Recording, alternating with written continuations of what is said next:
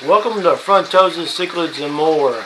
In this video we're looking at more the more because we're looking at a Mbuna In this Mbuna we're going to show some Saulosi, a couple of species of Labidochromis, and my breeding uh, experiences I've had recently as well as some of my plans. So you get to see four aquariums.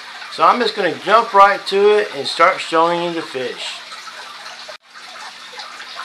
So in this aquarium you see the yellow top Mbamba Bay Labidochromis. Now they're doing great. They're actually coloring up quite well. Could be because they're reaching that uh, time in their age, but also have changed their diet to an all shrimp diet, and they have seemed to be doing much better with this diet. Uh, this aquarium has uh, all Labidochromis yellow tops in it, except for a few peacocks. The pe peacocks will be moved out of here eventually. Uh, there's not really any issues with males fighting males, and I, I will show, bring up a topic here uh, and show you the differences. Check out the difference in these these male yellow tops, and I'm going to show you an aquarium that just has one male yellow top, uh, and the difference in coloration.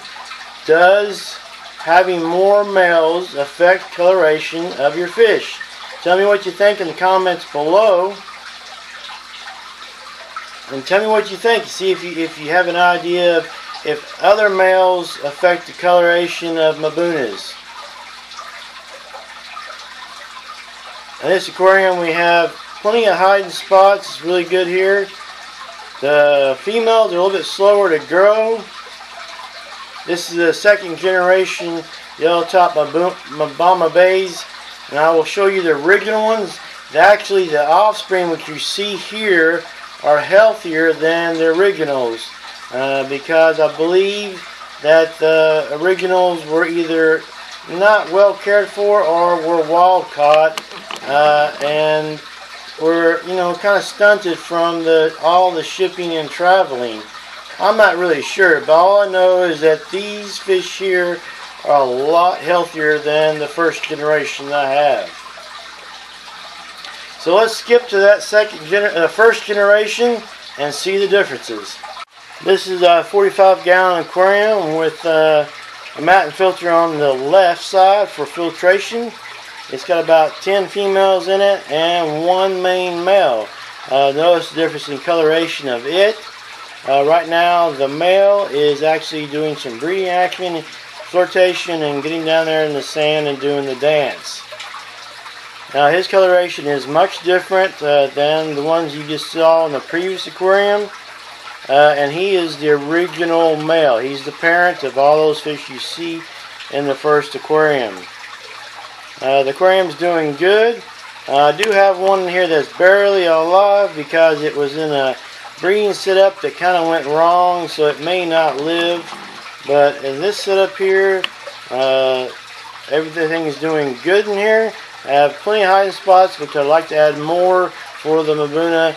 So if the females want to stay away from a, a active breeding male, they can. So that's what I'll be doing in the future. Let me give a close-up of the male real quick.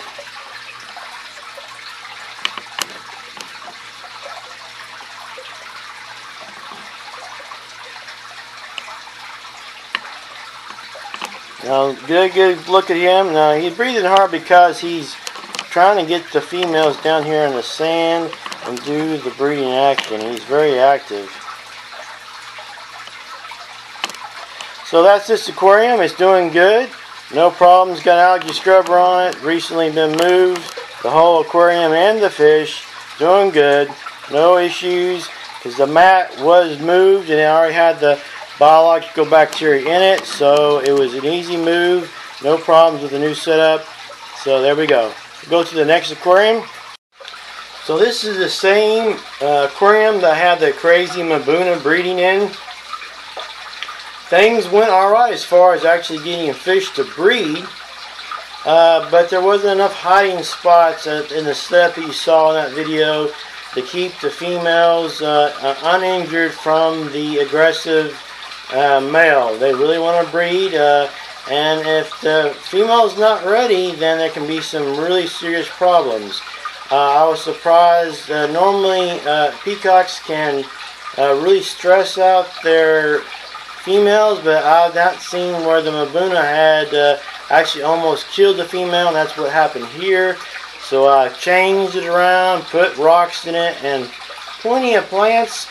I'll be adding a substrate to it soon uh, as far as a buffering substrate. What you see in there, there's only, uh, you may not see the fish yet. There's two fish in here. One is holding, uh, one is not. Hopefully I can get the other one out. the plans for this aquarium is to let the holding female, what, let me, uh, let me slowly move the camera over, zoom in, she's in the dark spot,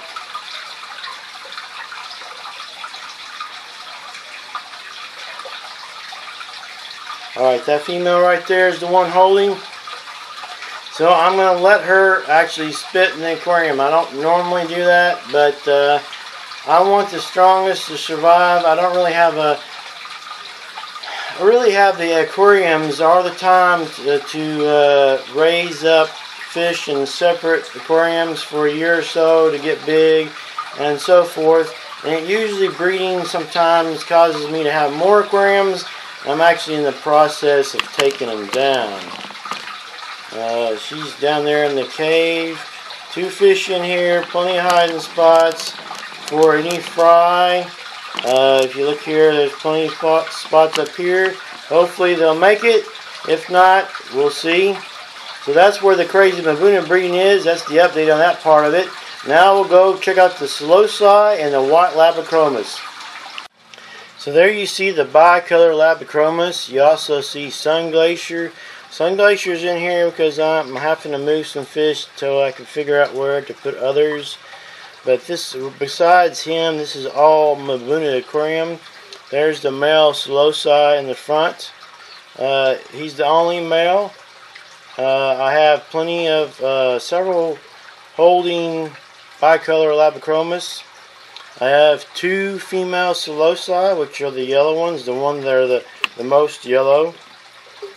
So what are the plans for this aquarium is that if it may change location, but what I'm going to do to make sure that I have the bicolor Labidochromis breed with the yellow top Mbamba bays is make sure that I have females breeding with the males because sometimes a male can uncolor, uh, be subdominant, and you can't tell that it is a male.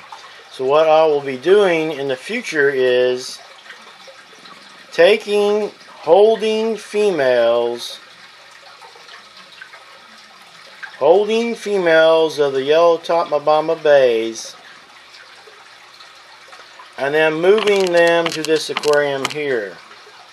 That way I know for sure I have females and I'm going to have more places for them to hide. Right now they have a reef section you see here, good amount of places for them to hide, but I want actually more. Uh, I'm actually going to add another uh, pump to this aquarium. I'm not going to buy one because I'm going to take down another aquarium soon. And I'll be using that pump for this aquarium. There'll be more flow for them and keep the water healthy. Now if you see here, there's a substrate that looks like uh, it's uh, crushed coral. But this substrate I don't like as well because it's shells and it's got sharp spots and it's not good for sifting. So I have now gone to Aragonite So I will be adding Aragonite to my aquariums in the future. I uh, hope you enjoyed this tour. This has been the Mbuna tour, uh, the small Mbuna tour. Uh, they'll get bigger eventually. if you give me thumbs up, comments, you know, uh, that helps me get bigger aquariums. I can have bigger aquariums for the Mbuna, for the peacocks, for the frontoses. And all I need is a thumbs up. If you enjoy watching these fish, maybe some of the comments, especially the little setup I have for uh, uh, having natural release for the uh, Mbamba bays. uh, you know, hey, give me a thumbs up. Thanks again for watching. This has been Frontosa, Cichlids, and more.